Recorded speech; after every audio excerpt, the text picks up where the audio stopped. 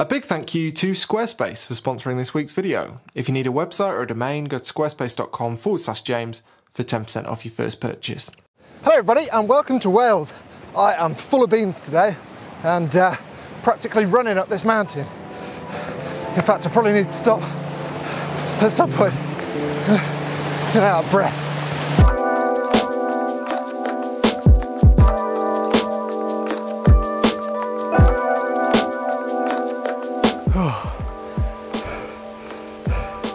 Came from down that path, and every single time I forget how hard this is. Oh. This table, um, despite what it looks like, does have four legs. I don't think it was wobbling this much last week, but uh, I don't know what I've done, to be honest. Anyway, yesterday, as you saw, I spent the day out in the mountains, which I was very excited to do because I've lived here for five weeks now in Wales, and um, yeah, I've not been into the mountains yet. And if you'd told me the day that we moved into this house that it would be five weeks before I got my first day in the mountains, I wouldn't have believed you, or I'd have cried one of the two. But uh, yeah, basically the first week we were unpacking boxes, the second two weeks were in a national lockdown, and the two weeks after that, uh, I've been busy packing your prints from the print sale. So thank you very much for your support, and it just turned out that yesterday was the first chance that I got to actually go and enjoy the mountains. And I thought, what better way to spend the day than to recreate a video that I made uh, two, three years ago maybe? Must have been two and a half because it was summer. Two and a half years ago. I don't think it was particularly good. I know that I didn't get any good photos. But the evening that I went up there, basically I spent most of my time at the top of the mountain just thinking, I really wish that I could live in Wales and be close to the mountains and the sea. And that would be so awesome for my photos and videos and just life, to be honest. And basically I wanted to spend a day at the top of that mountain just thinking about how my dream has come true. That was the plan, and I was going to make a video about that. And uh, well, for the second time in I think four, maybe five months, I forgot to turn my Rode wireless mic thing on. It wasn't actually this one, it was the one that I have on me, on my person. And uh, yeah, I forgot to turn it on. So most of the footage doesn't have any sound. When I got home and I stopped swearing, I went straight onto Amazon and I bought this. This is a Sony point and shoot.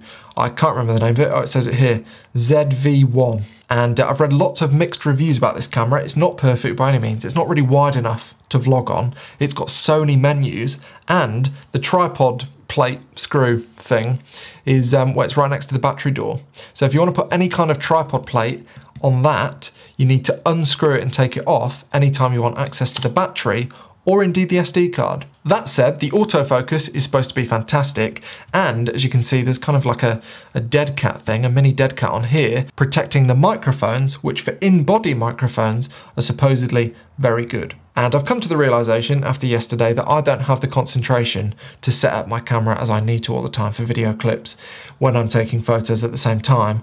And uh, therefore, I just thought I need to get a point and shoot that I can just literally press record on and not have to do anything else. And uh, that is why I've bought this for the sort of walk-in clips and stuff. Anyway, I did have a really nice day in the mountains yesterday. I just don't have any footage of it that's um, well, got any sound. So what I thought I'd do instead is make good on a promise that I made a few weeks ago, which is show you how I edited the photo at that stream that I went to, the Roman Bridge, a few weeks ago, just before lockdown. And what I thought I'd do is edit it on my phone, primarily because I've got a desktop and I've got lights and a microphone and stuff set up here. So if I wanted to show you on that computer, I'd sort of have to wheel over there or move all this stuff or bring the computer here. Bit of a pain, so I thought I'd just do it on my phone because it's perfectly possible to edit this photo on my phone. So here goes. So I'm going to use Lightroom Mobile for this because, uh, well, most people use Lightroom. If you don't use Lightroom, don't worry. Uh, most of the things I'm going to do, in fact, all of the things I'm going to do, I'd have thought are available in um, other programs. That's the word I was looking for. Completely blank then. Uh, so this is the original file and uh, it's a lot greener than the finished one, but there's lots of other stuff going on as well. So I'll show you how I go about editing this. The first thing that I'm gonna do is I'm gonna go to light and I'm gonna bring the exposure up because as you can see, it's a tad underexposed. The reason I did that was because I get really nervous when I'm shooting in uh, trees or woods that when you've got a really bright sky in the background, you can kind of lose detail in leaves and branches if you're not exposed correctly. So I quite like to underexpose a bit to make sure that I've still got all that detail. Um, I think I've bracketed, but I'm not gonna need to exposure blend for this photo because there's gonna be plenty of detail left in the shadows still. So that's not a problem. But once I've brought the exposure up, I'm then gonna bring the highlights way down and I'm gonna bring the shadows way up. And to be honest, bringing the shadows down and bringing the highlights up, no, other way around, bringing the highlights down and bringing the shadows up is something that I like to do for probably 90% of my photos. Not everyone likes to do it, I do. Uh, I'm also gonna bring the blacks up a little bit as well, I think. Okay, that looks good. Then I'm gonna go to curves, and on the RGB curve, I'm just gonna bring the blacks up again. That's not the RGB, that's the blue. Why is it on blue? RGB, there we go. And I'm gonna make like a, almost like a little Nike swoosh. I mean, not that extreme, not like that, because obviously that looks horrific, but I'm just gonna bring the, the darks up a touch. Something like that, maybe. Uh, then I'm gonna go to the red channel and I'm going to make a really shallow S-curve. Something like that. That'll do for the time being. I'm gonna do the same for the greens and I'll then do the same for the blues as well. Now the reason I'm not doing this on the RGB curve is that I might want to uh, make changes to these individually later on when I've played around with the colors uh, individually. So I like to do it separately so that I can then tweak this later in the process. But for the time being, that looks all right. Click done. And then next I'm gonna go to effects. Now clarity is important in scenes like this I find because I like to get rid of it. So clarity is basically contrast in the midtones and in a scene like this that looks kind of mystical, I mean to be honest here it looks like there are fairies flying around. It's very very mystical so I like to uh, like to bring that out and by getting rid of all the clarity you can really do that. So something like that and then I might get rid of some texture as well just to kind of soften the image out. I'll try dehaze, but I don't want to go too far with dehaze. You go too far with dehaze, you just make it look foggy, which I don't want. Okay, that's good. Next up, color. And color is crucial to this image because, uh, well, I want to make it look as autumnal as possible. So temperature I'm happy with, and to be honest, all these kind of global settings I'm, uh, I'm happy with as they stand at the moment as well. I want to go to mix though, and I'm going to start with green, and I'm going to move the hue all the way to the left. And this is a pattern that you'll notice I continue on the yellows, uh, budge saturation up and budge luminance up a touch as well. And on the orange, do exactly the same thing. And the reds, I need to be a bit more careful with the reds. But broadly, I'm gonna be aiming to do pretty much the same thing.